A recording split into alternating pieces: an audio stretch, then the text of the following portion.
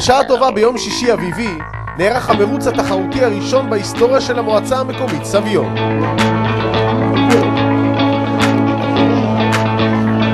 אני נרגש והמום ממה שקורה פה היום. אנחנו הרבה שנים מתכננים את זה, עכשיו הוצאנו את זה לפועל, זה עושה לנו מאוד טוב.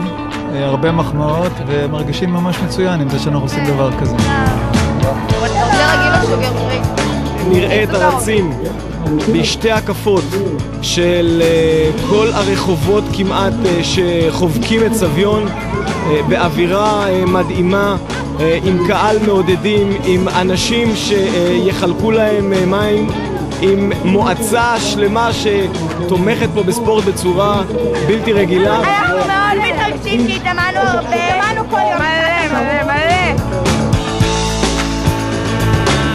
עמוס מנסנוף הגיע, גם לילי אברמסקי המרתוניסטית שהייתה באתונה, וראש המועצה כמובן, שלא החליט עדיין אם ישרוד שני מרוצים. רואים אותך רץ? בטח. אני לא יודע אם אני ארוץ שם את העשרה, כי אני רוצה לרוץ את העממי. בכלל תושבי סביון, אז רואים על, ה... על הספורט בתור חינוך. זאת אומרת, הספורט מסמל את הכל. אה, טבע וחופש ונופש ואיכות סביבה ואינטגריטי ולויאליטי, אז אה, ככה אנחנו רואים את זה ואנחנו שמחים אה, לארח את המרוץ הזה.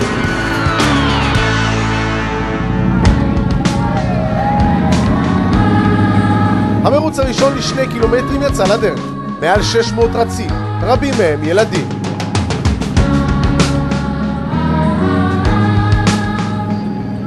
כבר מכינים את הילדים פה אה, מעל חודש ברמת בית הספר, במחלקת הספורט, והילדים מתכוננים לזה. רצו פה לדעתי רוב בית הספר שמונה 500 תלמידים.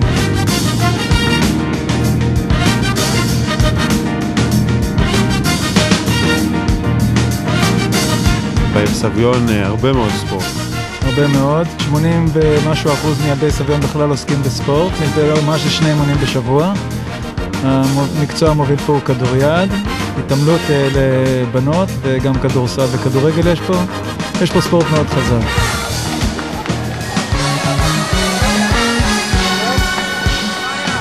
במרוץ מנצח איתי שמאי בן ה-13, שקצת קצר נשימה כדי להגיב. חיה. בסדר, בסדר. סיימת ראשון? כן, כן.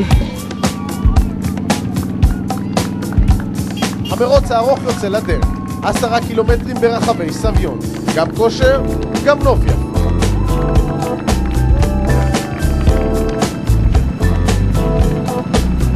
תשמע, זה מדהים, זה אנדרנלין מדהים, זה, זה אווירה אחרת. זה כאילו צריכים לעשות ספורט, לא רק לדבר ספורט. היה גדול, היה גדול. אני מאוד נהניתי, אני מניח שגם הרצים נהנו.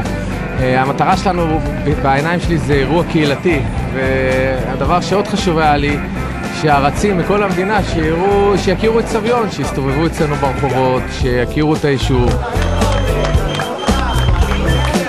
במרוץ הנשים מנצחת מרי אליאס. מסלול יפה, אווירה נחמדה, הפנינג גדול.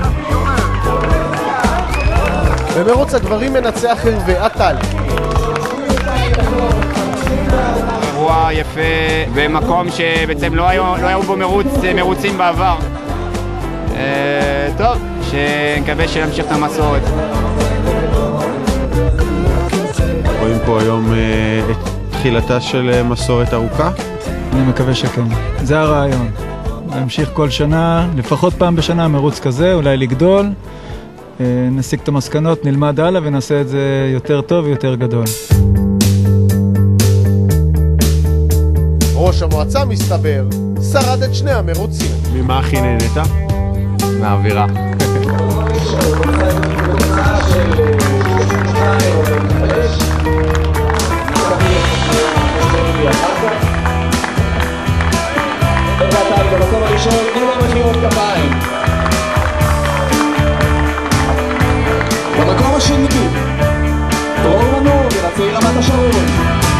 אז זהו, מרוץ סביון הראשון הסתיים.